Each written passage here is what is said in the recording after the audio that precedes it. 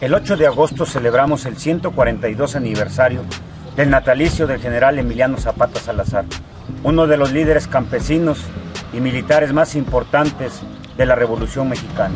Zapata fue ideólogo e impulsor de la lucha agrarista, así como la justicia social, la libertad, la igualdad, la democracia social y la propiedad comunal de las tierras, y así lo formuló en su propia reforma agraria, mejor conocida como el Plan de Ayala. Tierra, libertad y justicia.